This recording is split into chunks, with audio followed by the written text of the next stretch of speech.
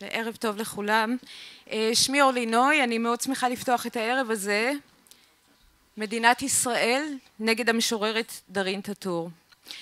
ב-11 באוקטובר 2015 בשעה שלוש וחצי לפנות בוקר הסתערו על בית משפחת טאטור בכפר ריינה שבגליל למעלה מעשרה שוטרים שלפו את דארין ממיטתה ולקחו אותה למעצר. כשניסתה לשאול אותם מדוע הם ענו לה את יודעת למה. רק מאוחר יותר אחרי החקירה השלישית הציגו בפניה את השיר שבגינו סומנה כאויבת העם. התקומם עמי התקומם נגדם.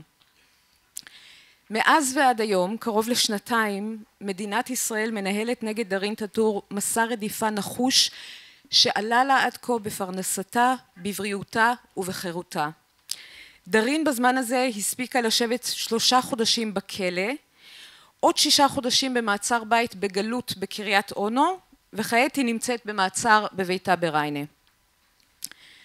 את פרשת דארין טאטור צריך לראות בהקשר הנרחב שלה המגמה הברורה של ניסיונות הביטחוניזציה של האזרחים הערבים מצד המדינה שנשענים על דעת קהל מוסתת ואווירה ציבורית מתלהמת ואלימה שרואה בעצם הקיום הפלסטיני בישראל סכנה ואיום.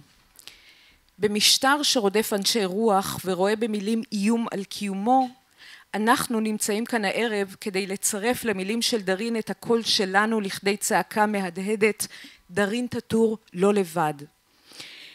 נשמע כאן הערב משוררות ומשוררים שיקראו משיריהם וגם מתרגומי שירתה של דארין נשמע על המשפט הקפקאי שמתנהל נגדה יהיה קטע מומחז מתוך הפרוטוקולים של המשפט עצמו ויהיו גם תאמר נפאר ואיתמר ציגלר בספוקן וורד מיוחד לערב.